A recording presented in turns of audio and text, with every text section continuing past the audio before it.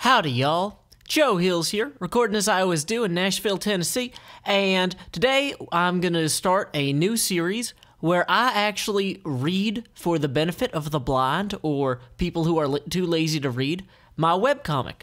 I've been making a comic called Jacq of All Blades, uh, along with my pal Art Frederick for several years now. Some of you guys may not realize that. And I thought to myself, you know, I've got a lot of people that like my videos, they like my sense of humor, maybe they'd like my comic. And then I thought, you know, I've got the ability to share with those of you who are less well sighted or less literate or less big fans of reading the uh, story that I've been working on, and I'm going to go ahead and do that. So, without further ado, Jacq of All Blades. Chapter 1 Jack Attack. So, uh, Princess Jacqueline Kepler, who is a minor royalty and thinks she's doing pretty well, is sitting on the carpet in her bedroom with her friend Marbles the Magician, uh, and the two of them are playing checkers. Uh, Marbles is hovering a few checkers in the air to demonstrate what a magical fella he is.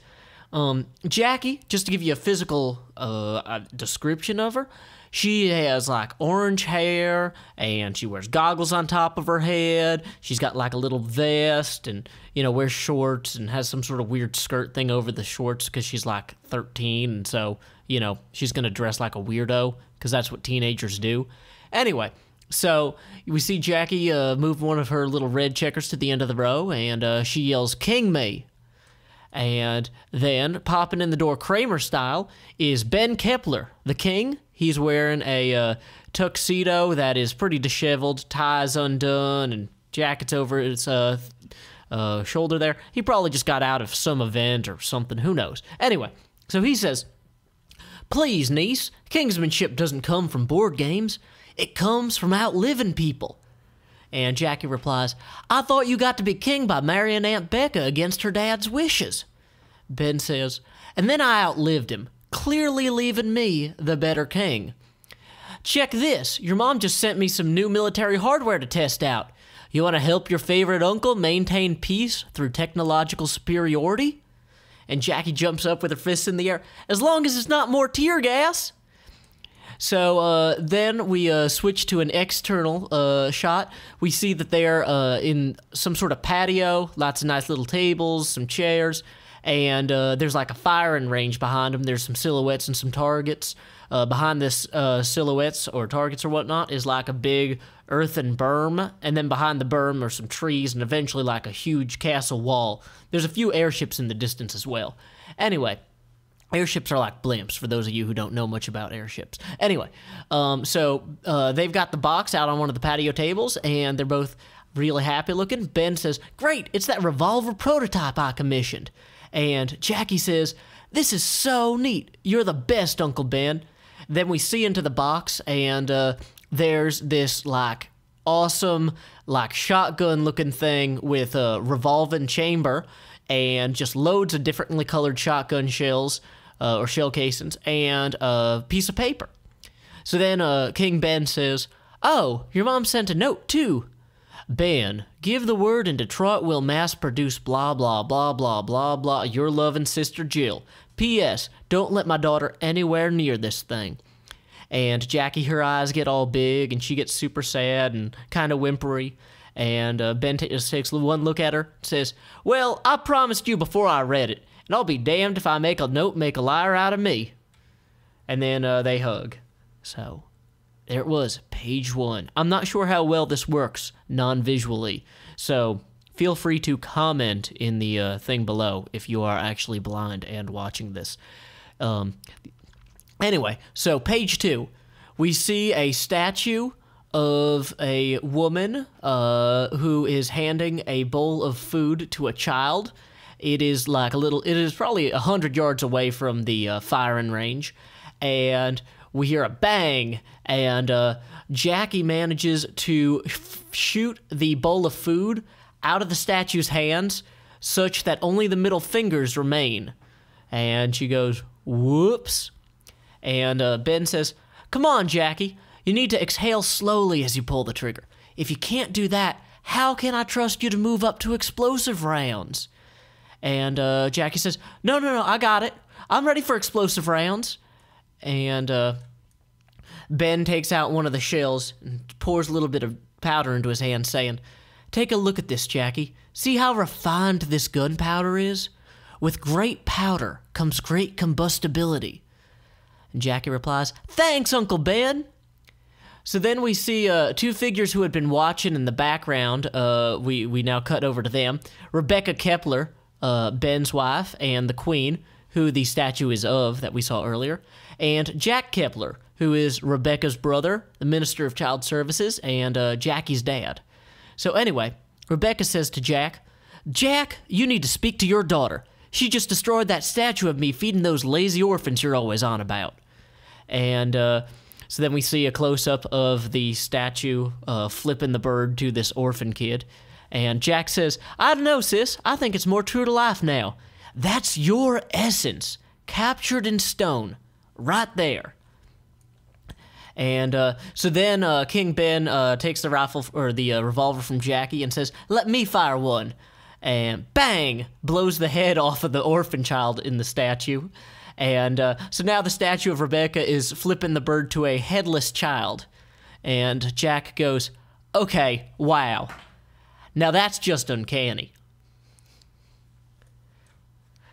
Still with me? On to page three. So Rebecca says, You're a horrible father. Jack's, No, I'm not. Yeah, you're right, but you do have a horrible daughter. And uh, Jack says, Now, hey now. And uh, the Queen Rebecca says, She should be acting like a princess, but she's playing with tomboyish explosives instead. And uh, then we see uh, Ben, uh, King Ben, now has Jackie riding piggy riding on his shoulders and uh, preparing to fire the weapon at the area he points at, and clearly not a very safe thing. Anyway, so then Jack replies, "Becca, I seem to remember a certain princess stealing our father's prototype grappling hook just to sneak out at night." And uh, Rebecca says, "Only in hopes of meeting the right guy. You know, like a drummer or someone in a band. They sleep during the day." I was trying to continue the royal line. She is endangering it. Then we see uh, Jackie. Now she has handed the revolver to Ben, who is pointing it wildly while she claps her hands over his eyes, still riding his shoulders.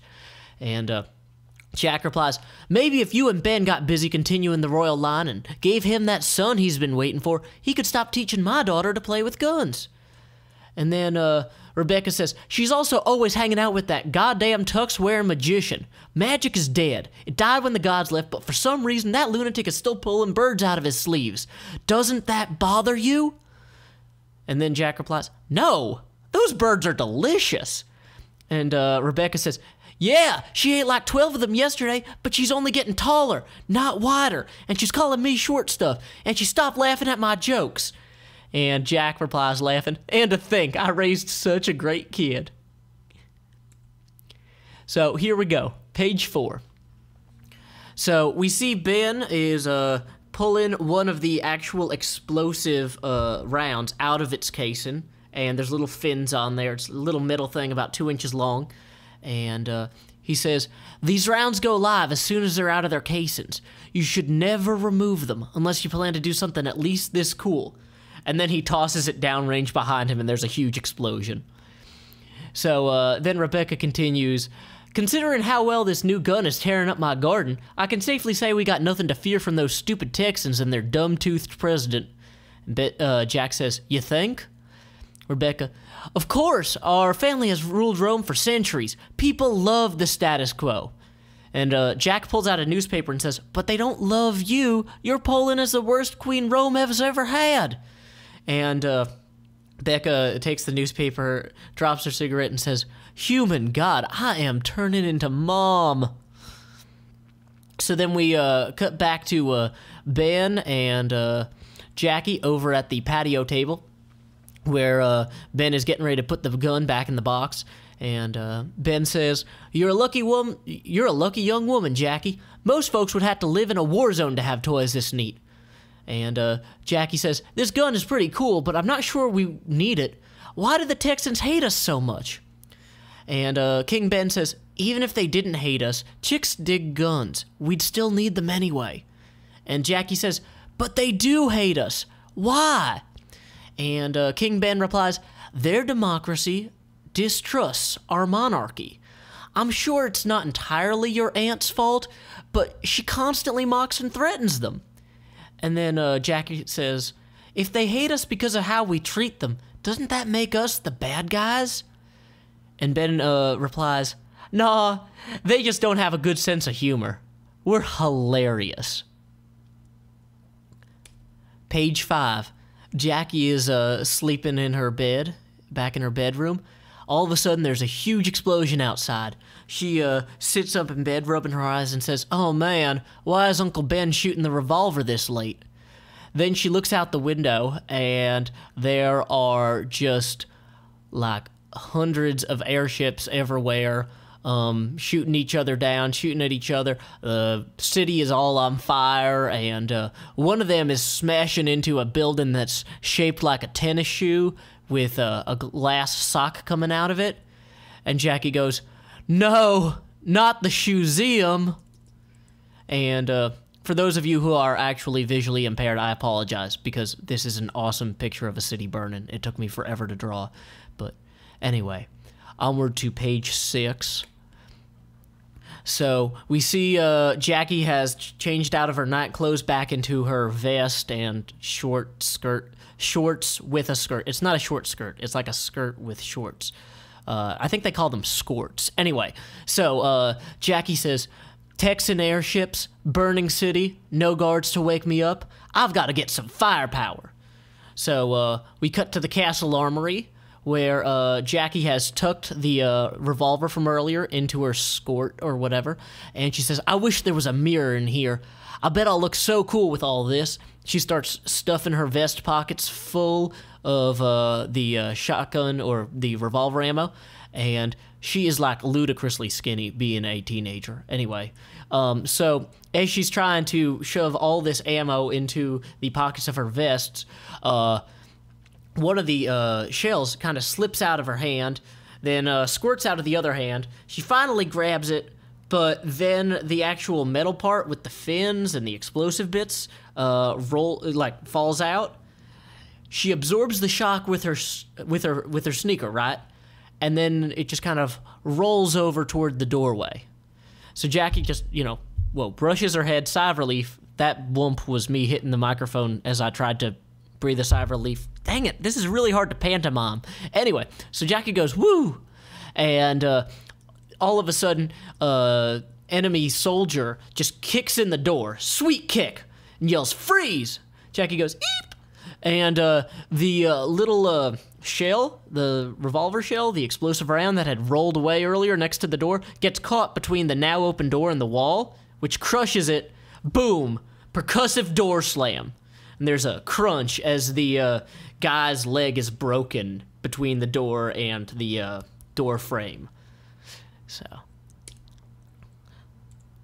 uh, page seven. Anyway, so Jackie kind of pokes her eyeballs out, or pokes her head around the door, and uh, you know, there's the guy's leg that's still holding it slightly ajar, and uh, he falls to the ground as soon as, or his leg falls to the ground as soon as she uh, you know, opens the door, and there's two more enemy soldiers. And Jackie says, Um, he was like that when I got here. Eep! And then she just gets pulled through the door. Uh, the revolver falls to the ground. Um, and uh, one of the enemy's soldiers yells, Don't damage her! That's the princess! And then suddenly, Jack flies in. Uh, he's got some sort of cleaver, decapitates the first guy. He says, Let immediately throws the cleaver into the eye of the second soldier.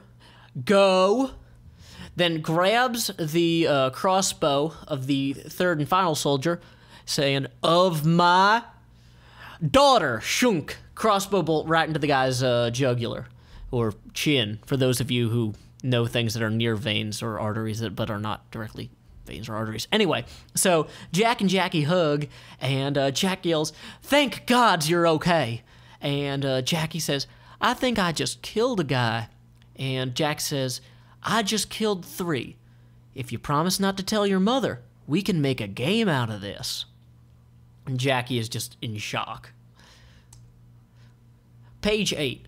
So, anyway, Jack says, Jackie, these people are here to hurt you, as he hands back the revolver to her. You've got to be able to defend yourself. So Jackie uh, is kind of freaked out and shaken, and she says, I just don't want to kill anyone. And uh, Jack says, I'll tell you what, next soldier you see, just shoot him in the kneecaps. Jackie says, and that won't kill him? And uh, Jack says, nah, it'll take his leg clean off, and the blood loss will kill him. Slowly. It's, the, it's better than he deserves for threatening my daughter. So, anyway, uh, Jack uh, lifts one of the helmets in the armory, and there's a little light that goes on inside the helmet. Apparently, there's a secret trigger there. Think, uh, you know, the head from Batman in the Adam West series, and uh, all of a sudden a shelf full of armor moves aside, and uh, it reveals a like fireman's pole. Although it's probably not for firemen; it's probably for non-firemen. Anyway, so Jack says, "Jackie, I need you to take this fire pole down and follow the tunnel at the end." And Jackie says, "Alone?" There'll be guards there. There'll be three guards at the exit. They'll rush you to Indianapolis, where, you, you'll be safe with cousin Fernando. And uh, Jackie says, "But I'm safe with you." Right here, right now, you are safe with me. Unfortunately, I've got to do a few things that are stupidly dangerous. Take the pole, follow the tunnel, get out of the city. And uh, so he hugs his daughter. And uh, anyway, so uh, Jackie says, What about Uncle Ben and Aunt Becca? And uh, Jack says, Long gone. I'd have sent you with them, but you weren't in your room. So then we see, uh, we cut to an exterior shot of the kind of the area near the firing range we saw earlier. And one of the soldiers, and there's more enemy soldiers. One of them yells, Halt! It's over, Queen Rebecca. We have you surrounded. We will shoot. And the other guy goes, Sir, I believe that's a statue. And uh, the officer in charge says, Weapons down! Men, I want all of you to take this in. What kind of insane tyrant keeps statues of herself flipping off headless children? Do you see now what we are up against? Page 9. So, uh, Jackie is taking the uh, uh, fireman pole down through the secret passageway, thinking to herself, I'll never make my kids do this. And uh, we see uh, the three guards that are at the end of the tunnel, and it says, Escape tunnel number 27. And the guard on the far left says, There's over 60 tunnels out of the castle, and if no one important has shown up by now, they aren't coming. 10 to 1, the next people who walk down that tunnel are Texan troops sweeping up. And the middle guard says, My farm is out there, and my family too. I can't ignore that. I'm leaving and the uh, far right guard yells, That's desertion! And the middle guard says, Roam deserted my family when Queen Rebecca force fed us her stupid ass wheat reform bill. And uh, the guard on the left says, He's right. What do we owe the Queen? My dad lost his trawler when she doubled port fees. And the uh, third guard says, Huh, I guess I did miss writing my cousin on his birthday because of her new stamp tax. And uh, the middle guard says, Goddamn postage hikes, I've had enough. I say we take a hike ourselves. And then we uh, cut back to Jackie, who is going down the tunnel still. And she says, Ugh, this must be like three miles. I hope the guards are cool at least. And uh, we see the uh, door at the end of the tunnel that says "Keep secret exit closed," and there's uh, discarded helmets uh, leading out the door, and uh, no guards in sight. And Jackie just looks at it and says, and this is exactly why Aunt Becca complains about the military. Page 10. So, Jackie has uh, emerged from the secret tunnel and she's in a field area. There's a tree line in the distance, um, but at least the sky is visible in front of her and not all full of smoke and enemy ships, so that's a good sign. So, she doesn't know how far out of the city she is or anything, but you know, She's at least beyond the imminent danger. So she says to herself, No guards, so now I have to get to Indianapolis on my own with an entire army after me. This will take every scrap of my stealth and evasion training. Hopefully, the Texans count their eyes and then count to a hundred. And uh, suddenly, there's a Texan soldier comes up behind her without a helmet, and he just picks her up, yoink, says, Don't I know you from somewhere? and uh, he's a big, tall, green, kind of chubby guy. He's actually an orc in the Jacq of All Blades universe. Orcs are green. I don't know. That might be common. Am I wasting too much time describing what color things are if you're blind anyway? That would be great feedback. Feel free to mention that in the comments. Anyway, so uh, this Orky has picked up Princess Jackie and he yells, Oh man, oh man, you're that princess from Roam. I'd know you anywhere. And he flips her over his shoulder and says, My CEO will be so happy with me when I show you to him. He'll probably he's probably real mad at me right now because I ran off during that battle and I'll tell him, I'll say, I would have told you I was going to catch the princess, but the battle was really loud and I didn't want her to get away. And then you'll tell that, and you'll tell him that this is exactly just what happened, won't you? Of course you will. He'll say, Ollie, he'll say, you're in big trouble for running off in the middle of the big fight. And I'll say, I wasn't running off. I saw this nice princess here, and I thought to myself, my commanding officer would want me to go catch that princess. And I didn't drop my crossbow and helmet and scream because I was scared. I needed my hands free to catch the princess, and my helmet was blocking my vision. And it was a really cool war cry like,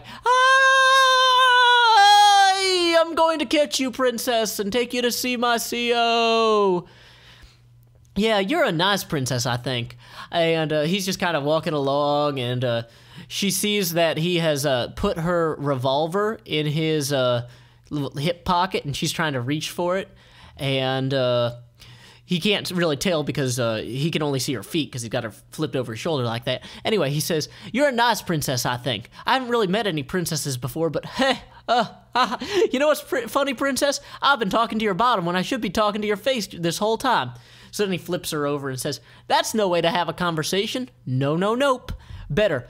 I hope my CEO lets me introduce you to my girlfriend. You'll like her. She's nice too. And uh, Jackie is really displeased about missing that opportunity to get her gun.